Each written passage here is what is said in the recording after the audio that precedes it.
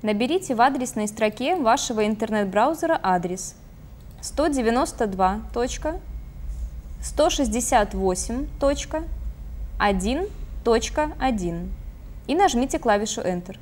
Появится окно с запросом имени пользователя и пароля.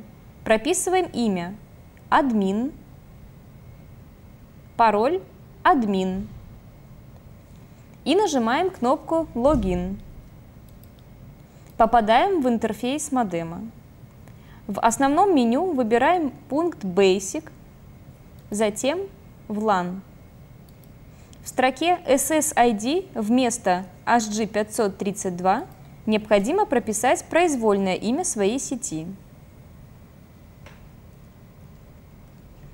В следующей строке SSID ставим отметку Enable. Для обеспечения собственной безопасности в строке WPA Preshared Key необходимо удалить стандартный пароль на Wi-Fi и ввести новый пароль, который в дальнейшем будет использоваться при подключении к вашей точке Wi-Fi. В строке WPS снимаем галочку со значения Enable. Для сохранения настроек нажимаем Submit. Модем готов к работе можно приступить к настройке беспроводного сетевого подключения на вашем компьютере.